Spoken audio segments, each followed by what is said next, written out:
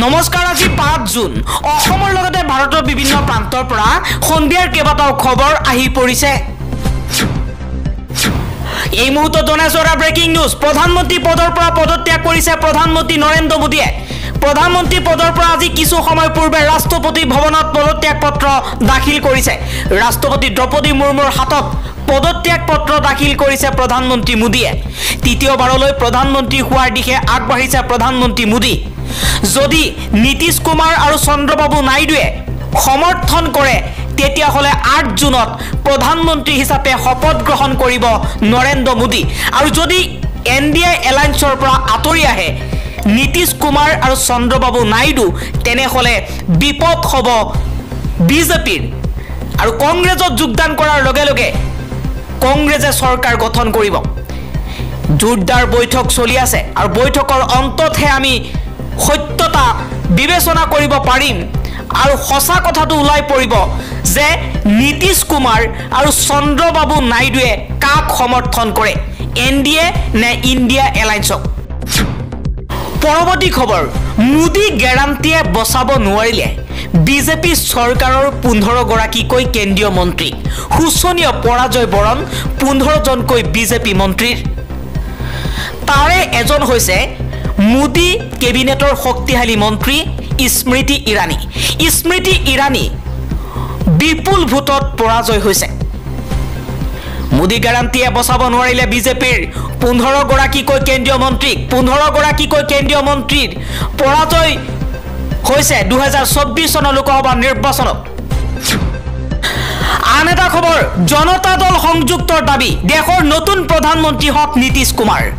নীতিশ কুমাৰ আৰু চন্দ্ৰবাবু নাইডুৰ ওপৰতে এতিয়া দুহেজাৰ চৌব্বিছ চনৰ লোকসভা নিৰ্বাচনৰ ভৱিষ্যত নিৰ্ভৰ কৰিব। কাৰণ দুয়োটা দল দুয়োজন নেতা এই দুয়োজন নেতা যিফালে যাব সলনি হ'ব ভাৰতৰ ৰাজনৈতিক পৰিৱেশ। দুয়োটা দল আৰু দুয়োজন নেতাই যিটো দলকেই সমৰ্থন কৰিব সেই দলেই চৰকাৰ গঠন কৰিব। এতিয়া জনতা দল সংযুক্তৰ ফালৰ পৰা দাবী জনোৱা হৈছে দেশৰ নতুন প্ৰধানমন্ত্ৰী হ'ব লাগে নীতিশ কুমাৰ। কিন্তু নীতিশ কুমাৰৰ এই দাবী যদি বিজেপিয়ে পূৰণ কৰে বা নীতিশ কুমাৰ আৰু চন্দ্ৰবাবু নাইডুৱে যি বিচাৰে সেয়া যদি বিজেপিয়ে নিদিয়ে তেনেহ'লে বিজেপিৰ বিজেপিৰ পৰা হয়তো এন ডি এ এলায়েন্সৰ পৰা আঁতৰি আহিব পাৰে। আৰু এন ডি এ এলায়েন্সৰ পৰা আঁতৰি অহা মানে বিজেপি পৰাস্ত। আৰু এই দুয়োটা দলৰ নেতাই যিটো দলক সমৰ্থন কৰিব সেই দলেই চৰকাৰ গঠন কৰিব। এই মুহূৰ্তত যি খবৰ আহিছে সেয়া আপোনালোকক জনাই আছো। জনতা দল সংযুক্তৰ ফালৰ পৰা দাবী জনোৱা হৈছে। জনতা দলৰ নেতাসকলে কৈছে যে দেশৰ নতুন প্ৰধানমন্ত্ৰী হ'ব লাগে নীতিশ কুমাৰ। এতিয়া নীতিশ কুমাৰ আৰু চন্দ্ৰবাবু নাইডুৰ কথা বিজেপিয়ে শুনিব নে নুশুনে? আৰু শুনিলে ভাল আৰু নুশুনিলে বিপদ হ'ব বিজেপিৰ। এতিয়া দুয়োটা দলৰ মাজত ইণ্ডিয়া এলায়েন্স আৰু এন ডি এ এলায়েন্সৰ মাজত জোৰদাৰ বৈঠক চলি আছে। হয়তো এই বৈঠকৰ অন্ততেই সমগ্ৰ দেশবাসীয়ে শুনিবলৈ পাব দেশৰ পৰৱৰ্তী মুখ্যমন্ত্ৰী হিচাপে কোনে শপত গ্ৰহণ কৰিব। বিজেপিৰ ফালৰ পৰা যি কথা জনোৱা হৈছে সেয়া আঠ জুনত প্ৰধানমন্ত্ৰী নৰেন্দ্ৰ মোদীয়ে দেশৰ প্ৰধানমন্ত্ৰী হিচাপে শপত গ্ৰহণ কৰিব বুলি যি দাবী এতিয়া যি কথা এতিয়া পোহৰলৈ আহিছে সেয়া সম্পূৰ্ণ সঁচা নহয়। কাৰণ নীতিশ কুমাৰ আৰু চন্দ্ৰবাবু নাইডু এই দুয়োজন নেতা যদি বিজেপিৰ পৰা আহি যায় ফালৰিকাতে তেনেহ'লে বিজেপিৰ ভৱিষ্যত নষ্ট হ'ব। পৰৱৰ্তী খবৰ জ্যেষ্ঠ বিজেপি নেতা সুব্ৰমণিয়াম স্বামীৰ সমালোচনা প্ৰধানমন্ত্ৰী মোদীক। নৈতিক দায়িত্ব স্বীকাৰ কৰি নেতৃত্ব এৰক মোদীয়ে। নৈতিক দায়িত্ব মানি ইণ্ডিয়াক চৰকাৰ গঠনৰ দায়িত্ব দিয়ক। এইবাৰ জ্যেষ্ঠ বিজেপি নেতা সুব্ৰমণিয়াম স্বামীয়ে এই মন্তব্য কৰিছে প্ৰধানমন্ত্ৰী নৰেন্দ্ৰ মোদীক উদ্দেশ্য কৰি। প্ৰধানমন্ত্ৰী নৰেন্দ্ৰ মোদীয়ে নৈতিক দায়িত্ব স্বীকাৰ কৰি নেতৃত্ব ত্যাগ কৰি ইণ্ডিয়া এলায়েন্সক চৰকাৰ গঠনৰ দায়িত্ব দিয়ক বুলি মন্তব্য কৰিছে জ্যেষ্ঠ বিজেপি নেতা সুব্ৰমণিয়াম স্বামীয়ে। আন এটা খবৰ মহাৰাষ্ট্ৰত বিজেপিত অঘটন বিজেপিৰ শোচনীয় পৰাজয়ৰ পিছতে দেৱেন্দ্ৰ ফাড়নবিজৰ পদত্যাগ। এক ডাঙৰ খবৰ জনাই আছো। দুহেজাৰ চৌব্বিছ চনৰ লোকসভা নিৰ্বাচনৰ ফলাফল ঘোষণা কৰা হৈছে। মহাৰাষ্ট্ৰত বিজেপিয়ে মুখ ঠেকেচা খাইছে। আৰু তেনে সময়তে এইবাৰ এক ডাঙৰ আপডেট আপোনালোকক দিবলৈ লৈছোঁ। মহাৰাষ্ট্ৰৰ বিজেপিত এক অঘটন সংঘটিত হৈছে। বিজেপিৰ শোচনীয় পৰাজয়ৰ পিছতেই উপ মুখ্যমন্ত্ৰী দেৱেন্দ্ৰ ফাড়নবিজৰ পদত্যাগ। বিজেপি চৰকাৰৰ উপ মুখ্যমন্ত্ৰী পদৰ পৰা পদত্যাগ কৰিছে। আন এটা খবৰ গৌৰৱ গগৈৰ বিজয়ৰ পাছতে বিজেপিত খণ্ড যুদ্ধ। সন্মুখত সন্মুখ সমৰত বিধায়ক মুখ্যমন্ত্ৰী। এফালে মুখ্যমন্ত্ৰীৰ সন্দেহ বহুদিন বিজেপিত নাথাকে মৃণাল শইকীয়া। আনফালে মৃণাল শইকীয়াৰ কটাক্য মুখ্যমন্ত্ৰীৰ শুৱে বাৱে থকা কোনোবাই উচতাইছে মুখ্যমন্ত্ৰীক। পৰৱৰ্তী খবৰ জনতাই যেতিয়া গণদেৱতাৰ ৰূপ লয় তেতিয়া ভয়ংকৰ পৰিস্থিতিৰ সৃষ্টি হয়। তাৰেই প্ৰমাণ দুহেজাৰ চৌব্বিছ চনৰ লোকসভা নিৰ্বাচনৰ ফলাফল।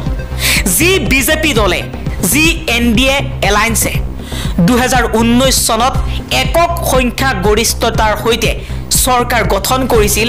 সেই বিজেপিয়ে এতিয়া একক সংখ্যা গৰিষ্ঠতা দূৰৰ কথা দুশ বাসত্তৰ আসন দূৰৰ কথা দুশ চল্লিছখন আসনতে সীমাবদ্ধ। ভক্তপ্ৰাণ ভাৰতবাসীয়ে সদায় সন্ধান কৰে। আৰাধ্য দেৱতাৰ। সেইবাবে প্ৰধানমন্ত্ৰী নৰেন্দ্ৰ মোদীয়েও নিজকে অভিহিত কৰিছিল ঈশ্বৰৰ দূত হিচাপে। আনকি নিজৰ গাত ঐশ্বৰিক শক্তি থকা বুলিও দাবী কৰিছিল। হয়তো মোদীৰ এই বক্তব্যৰ আঁৰত আছিল এক সুপৰিকল্পিত ৰণনীতি। ভক্তপ্ৰাণ ভাৰতবাসীয়ে মোদী চৰকাৰৰ দহ বছৰৰ কাম কাজৰ যাতে পৰ্যালোচনালৈ নাযায় চৰকাৰৰ কোনো কামক লৈ যাতে প্ৰশ্ন নকৰে পৰমাত্মাৰ দূত বুলি গণ্য কৰি একান্ত সমৰ্থন আগবঢ়াই যায়। সেই অভিসন্ধিৰেই মোদীয়ে নিজকে অভিহিত কৰিছিল ঈশ্বৰৰ দূত বুলি। কিন্তু কিছু সংখ্যক জনতাক বেছি দিনৰ বাবে বেছি সংখ্যক সংখ্যকক কম দিনৰ বাবে মূৰ্খ বনাব পাৰি। ঠিকেই সকলো জনতাক সকলো সকলো সময়ৰ বাবে মূৰ্খ সজাই যোৱাটো সম্ভৱ নহয়। সেইবাবেই জনতাই ৰূপ লৈছে গণদেৱতাৰ। স্বয়ম্ভু ঈশ্বৰৰ দূত নৰেন্দ্ৰ মোদীৰ স্ব আৰোপিত ঐশ্বৰিক শক্তিক গণদেৱতাই এনে এক শিকনি দিলে যে খুদ মোদী মন্ত্ৰীসভাৰ পোন্ধৰজনকৈ মন্ত্ৰী নিৰ্বাচনত পৰাজিত হ'ল। তাতকৈও ডাঙৰ ঘটনা ঘটিল খুদ বাৰাণসীত। এইবাৰ বাৰাণসীত কেৱল ডেৰ লাখ ভোটত বিজয়ী হ'বলৈ সক্ষম হৈছে নৰেন্দ্ৰ মোদী।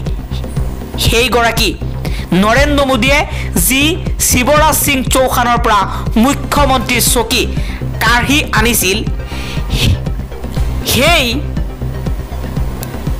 গণদেৱতাই উদঙাই দিয়াৰ পাছত নিশ্চয় দলৰ মজিয়াতে জবাবদিহি হ'ব লাগিব নৰেন্দ্ৰ মোদী। নৰেন্দ্ৰ মোদীয়ে আনকি বিগত দুটা কাৰ্যকালত আৰ এছ এছৰ দৰে সংগঠনকো গুৰুত্বহীন কৰি পেলাইছিল। তাৰ উত্তৰ দিয়াৰ সময় এতিয়া সমাগত। আটাইতকৈ ডাঙৰ কথা নৰেন্দ্ৰ মোদীয়ে এইবাৰ পৰিচালনা কৰিব লাগিব এখন মিত্ৰজোঁট চৰকাৰ। গুজৰাটৰ মুখ্যমন্ত্ৰী হিচাপে তিনিটা কাৰ্যকাল আৰু প্ৰধানমন্ত্ৰী হিচাপে দুটা কাৰ্যকালত নৰেন্দ্ৰ মোদীয়ে কেতিয়াও কাৰো সৈতে ক্ষমতাৰ ভাগ বটোৱাৰা কৰাৰ উদাহৰণ নাই। নৰেন্দ্ৰ মোদীয়ে সদায় বিশ্বাস কৰে কেন্দ্ৰীভূত ক্ষমতাত সিদ্ধান্ত লয় নিজৰ মতে।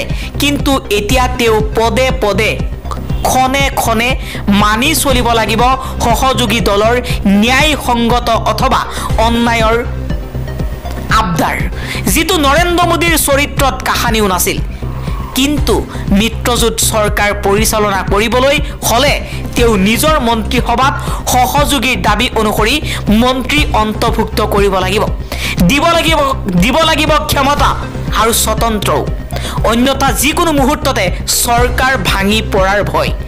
যিগৰাকী নৰেন্দ্ৰ মোদীয়ে নিজৰ দলৰ মুখ্যমন্ত্ৰীৰ সৈতে ফটো ফ্ৰেম শ্বেয়াৰ কৰিছিল কৰিবলৈ সন্মত নহয়। সেইগৰাকী নৰেন্দ্ৰ মোদীয়ে এইবাৰ ক্ষমতাৰ ভাগ বতৰা কৰিব লাগিব। নীতিশ কুমাৰ চন্দ্ৰবাবু নাইডুৰ দৰে চিৰ শত্ৰুৰ সৈতে।